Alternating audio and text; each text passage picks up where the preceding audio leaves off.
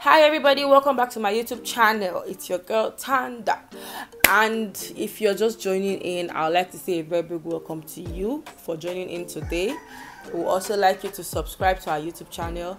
And also I would like you to follow our Instagram page at TandA underscore food underscore in. Yes. You can also place orders on our WhatsApp contact 081 20 42 93 88. If you're just joining in, once again, I'm going to say a very big welcome to you.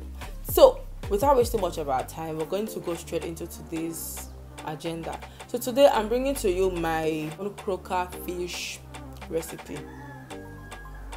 This recipe is very, very amazing. Trust me, if I say it's amazing, just believe me. And I would want you to also try your own you should try it and then you know come and give testimony.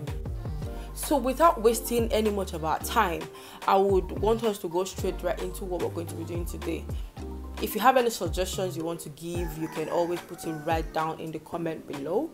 And then also if you have anything you want me to you know bring to your screens i would do you the honor to bring it to your screens so let's go straight right into the kitchen to see what's going on there.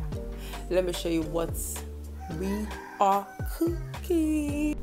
Here's pepper and onions, garlic, salt, ginger, black pepper. Here's my croaker fish. I'm going to wash this thoroughly, clean it thoroughly with water. Then I use my knife to take out other blood particles on the body. I do this for the three fishes. After doing this, I rinse them very well to ensure that they're very clean with no dirt. I take out knife to cut out stripes on both parts of the body. And then I do this so that the seasons can go into it very well. Here's my spices distributed all around the fish. I ensure that it gets into all of the cut stripes to ensure that it is well spiced. I put a little bit of honey on the body and then my grounded pepper goes on the body and also inside the stripes to ensure that it is well spiced. I like my fish spicy. Ooh. Don't forget to hit the subscribe button please. I distribute evenly granite oil and then I pack this ready for the fridge.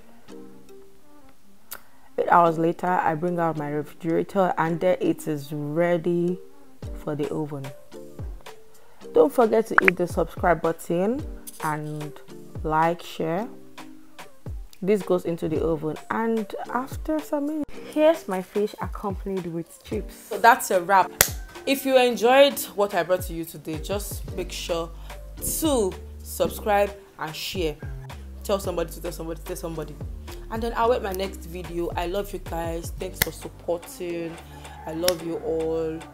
Have a wonderful weekend. I'm going to put a hand to today's video and then by the special grace of god we're going to meet again here next week. Please have a good weekend. Love you guys. Peace out